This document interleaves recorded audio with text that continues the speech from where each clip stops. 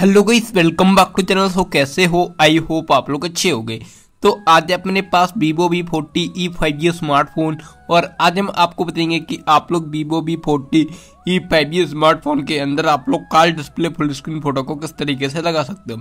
अगर आप चाहते हो कि आपके फ़ोन में अगर किसी का भी कॉल आए, उस टाइम जो आपका फ़ोटो है वो फुल स्क्रीन में लग गया तो आप लोग इस सेटिंग को यहाँ पर किस तरीके से ऑन कर सकते हो और किस तरीके से आप लोग कार डिस्प्ले में फुल स्क्रीन फ़ोटो को लगा सकते हो। तो आपको यहाँ पे car display full screen photo लगाने के लिए क्या करना पड़ेगा? आपको सिंपली प्ले स्टोर में जाके एक छोटा सा ऐप डाउनलोड करना पड़ेगा।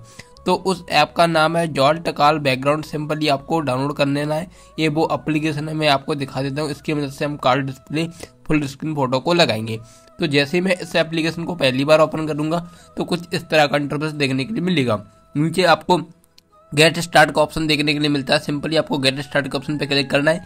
जैसे क्लिक करोगे तो आपको नीचे यहाँ पे बैकग्राउंड का ऑप्शन देखने के लिए मिल जाएगा। तो आपको नीचे जो बैकग्राउंड का ऑप्शन दिख रहा है ना, सिंपली आपको बैकग्राउंड के ऑप्शन पे क्लिक कर देना है। जैसे आप बैकग्राउंड के ऑप्शन पे क्लिक करोगे तो आपके सामने यहाँ पे कुछ इस तरह का इंटरफेस आ जाएगा। मैं आपको यहाँ पे करके दिखा देता हूँ। जैसे ही मैंने क्लिक किया तो आप लोग यहाँ पे देखते हो कुछ इस तरह का इंटरफेस आ चुका है। आपको यहाँ पे कस्टम बैकग्राउंड का ऑप्शन देखा तो आपको सिंपली यहाँ पे इमेज का ऑप्शन देखने के लिए मिल जाएगा।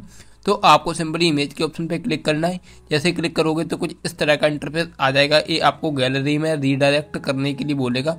सिंपली आपको यहाँ से गैलरी में चले जाना है और गैलरी में आके आप जो भी फ़ोटो लगाना चाह रहे हो सिंपली उस फ़ोटो को आप लोग यहाँ पे सिलेक्ट कर सकते हो। तो मेरे कुछ यहाँ पे पर्सनल फ़ोटो है तो इस चक्कर में मैंने यहाँ पे बिल्डर कर लिया है। तो आप लोग यहाँ पे देखते हो मैं गैलरी में आ चुका हूँ। अब मुझे यहाँ पे जो भी फ़ोटो लगाना हो सिंपली उसे मैं यहाँ पे सेलेक्ट कर लेता हूँ।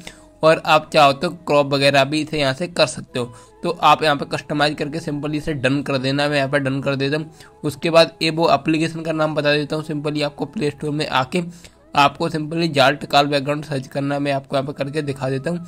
और ऐप है वो सिंपली से डाउनलोड हो जाएगा।